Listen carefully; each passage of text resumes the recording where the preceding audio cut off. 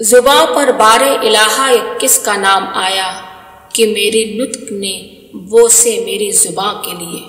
सैयदुलशहदा हज़रत सैदना इमाम हुसैन रज़ल्लाह आपका इसमें ग्रामी हुसैन और कुन्नियत अबू अब्दुल्ला है। सैयद शबाब अहल जन्न और रेहानतुलनबी लकब है।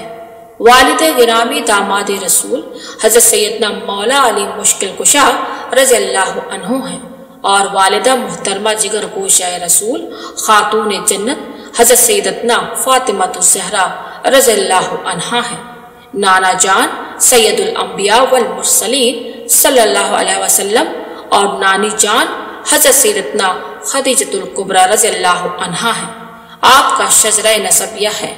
हुसैन बिन अली बिन अबी तालिब बिन हाशिम बिन अब्द मनाफ करशी, हाशमी व मुतलबी। सैदुलशहदा हज़रत सैदना इमाम हुसैन रजल्ला तीसरे इमाम और अबुल अइम्मा हैं। आपकी विलादत के मुतालिक मिशकात शरीफ में तहरीर है कि हजूर सरवर कायनात वसल्लम की चची जान हज़रत उम्मुल फजल रज़ियल्लाहु अन्हा रसूलुल्लाह सल्लल्लाहु की खिदमत में हाजिर हुई और अर्ज़ किया, या रसूलुल्लाह, आज रात मैंने एक ख़तरनाक ख्वाब देखा है। हुजूर ने फरमाया, क्या है? बोली हुजूर बहुत खतरनाक है। हुजूर ने फरमाया, वह क्या है? बोली, मैंने देखा कि आपके जिसमें पाक का एक टुकड़ा काटा गया और मेरी गोद में रखा गया। रसूलुल्लाह सल्लल्लाहु अलैहि वसल्लम ने फरमाया, तुमने बहुत अच्छा ख्वाब देखा है। इनशाला फातिमा को एक लड़का पैदा होगा और वह तुम्हारी गोद में दिया जाएगा। हज़रत उम्मुल फजल कहती है कि हज़रत फातिमा के यहाँ हुसैन पैदा हुए। तो मेरी गोद में दिए गए, जैसा कि रसूलुल्लाह सल्लल्लाहु अलैहि वसल्लम ने फरमाया था। हज़रत उम्मुल फजल के ख्वाब की ताबीर पाँच शाबानुल मुअज्जम, सन चार हिजरी में बमकाम मदीना मुनवरा ज़ाहिर हुई। इसी तारीख को हज़रत सैदना इमाम हुसैन रज़ल्लाहु की विलादत बासादत हुई, जो आलम गैब में हजूर पाक सल्लल्लाहु अलैहि वसल्लम के जिसम अथर के एक टुकड़े हैं। हुजूर सरबर कायनात सल्लल्लाहु अलैहि वसल्लम ने हज़रत इमाम हुसैन की विलादत बा शहादत की खबर सुनी तो फ़ौरन काशाना खातून जन्नत पर तशरीफ़ लाए। फरमाया, मेरे लखते जिगर को दिखाओ। असमा बिनते उमैस ने नन्हे इमाम हुसैन को एक सफ़ेद कपड़े में लपेट कर हुजूर की आगोश रहमत में पेश कर दिया। आपने प्यारे हुसैन के दाएँ कान में अजान दी और बाएँ कान में इकामत पढ़कर इमाम हुसैन के मुँह में अपना लुआब दहन डाला और दुआएँ फरमाई, फिर बहुत में राही आपका नाम हुसैन रखा। सातवें दिन अकीका करके बच्चा के बालों के हम वज़न चांदी खैरात करने का हुक्म दिया। आपके अकीका में दो मेढ़े जमा की गए। एक रिवायत में एक ही मेढ़े के बारे में तहरीर है।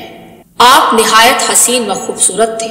आपकी शक्ल व सूरत के मुतालिक हज़रत सैदना फातिमा तो जहरा व हज़रत सैदना अनस रजल्लाहु की रिवायतों से पता चलता है कि आप सीने से कदम तक हुजूर पाक सल्लल्लाहु अलैहि वसल्लम के मुशाबह थे। आपके हुस्न व जमाल का तस्करा इन अल्फाज में किया गया है कि जब आप अंधेरे में बैठते तो आपकी पेशानी मुबारक और रुखसारों से रोशनी निकलकर कुर्ब व जवार को मुनवर कर देती थी। आप बड़े आबिद व जाहिद व तहसद गुजार थे। पूरा पूरा दिन और सारी सारी रात नमाजें पढ़ने और तिलावत कुरान हकीम में गुजार दिया करते थे। ज़िक्र खुदाबंदी का यह शौक करबला की तपती हुई ज़मीन पर तीन दिन के भूखे प्यासे रहकर भी न छूटा। शहादत की हालत में भी दो रकात नमाज़ अदा करके बारगाह खुदाबंदी में अपना आखिरी नजराना पेश फरमा दिया। हुजूर नबी करीम वसल्लम अपने लखते जगर हज़रत इमाम हसन की तरह हज़रत इमाम हुसैन से भी बहुत ज़्यादा प्यार व मोहब्बत फरमाते थे। उनकी मामूली सी मामूली तकलीफ़ से भी आप बेकरार हो जाया करते थे। उनको देखे बगैर आपको सुकून न आता था। रोज़ाना आप उनको देखने के लिए हज़रत फातिमा के घर तशरीफ़ ले जाते थे। एक रोज का वाक्य है कि हज़रत अबू हुरैरा रज़ियल्लाहु अन्हु रिवायत करते हैं कि हम रसूलुल्लाह सल्लल्लाहु अलैहि वसल्लम के साथ सफ़र में थे। एक मकाम पर हज़रत हसन और हज़रत हुसैन रज़ियल्लाहु अन्हुमा के रोने की आवाज़ आई।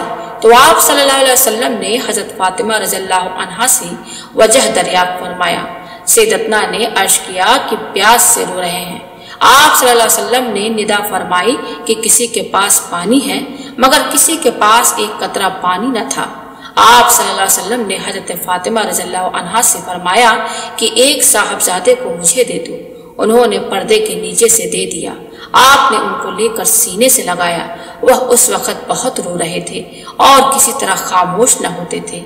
आपने अपनी ज़ुबान मुबारक उनके मुँह में डाल दी। वह चूसने लगे। यहाँ तक कि उनको तस्कीन हो गई। उसके बाद वह नहीं रोए। लेकिन दूसरे साहबजादे बदस्तूर रो रहे थे। आप अलैहि वसल्लम ने फरमाया, उसको भी मुझे दे दो। उन्होंने दे दिया। तो आपने उनके भी मुँह में अपनी ज़ुबान मुबारक डाल दी। वह चूसने लगे और तस्कीन पाकर खामोश हो गए। उसके बाद उन दोनों के रोने की आवाज़ नहीं सुनाई दी। आप हजूर पाक वसल्लम हज़रत इमाम हुसैन से बे इंतहा मोहब्बत फरमाया करते थे। चुनाचे एक दिन हुजूर पाक वसल्लम हज़रत इमाम हुसैन रज़ल्लाहु से अपने दाएँ बाजू और अपने बेटे हज़रत इब्राहिम रज़ल्लाहु को बाएँ बाजू पर बिठाए हुए थे कि हज़रत अलैहिस्सलाम तशरीफ़ लाए और अर्ज़ किया, अल्लाह ताला इन दोनों को आपके यहाँ यकसा न रहने देगा। उनमें से एक को वापस बुला लेगा। अब इनमें से आप जिसे चाहे पसंद फरमा ले। हुजूर पाक सल्लल्लाहु अलैहि वसल्लम ने फरमाया, अगर हुसैन वफात पा जाए तो उनके गम में हज़रत फातिमा, अली और मुझे तकलीफ़ होगी। अगर इब्राहिम वफात पा जाए तो ज़्यादा अलम मेरी ही जान पर टूटेगा। इसलिए मुझे अपना ही गम पसंद है। इस वाकये के तीन दिन बाद हज़रत इब्राहिम रजल्लाहु ने इंतकाल किया। बाद अजा, जब भी हज़रत इमाम हुसैन रजल्लाहु हुजूर पाक सल्लल्लाहु अलैहि वसल्लम की खिदमत में आते तो हुजूर पाक सल्लल्लाहु अलैहि वसल्लम उनकी पेशानी पर बोसा देते और खुश आमदीद कहते हुए फरमाते, मरहबा ए हुसैन, मैंने तुम पर अपने बेटे को कुर्बान कर दिया।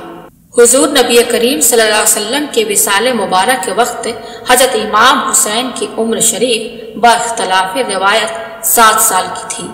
जब हज़रत सिद्दीक अकबर रजल्लाहु की रहलत और हज़रत उमर रजल्लाहु की खिलाफत शुरू हुई तो आप सवा दस बरस के थे।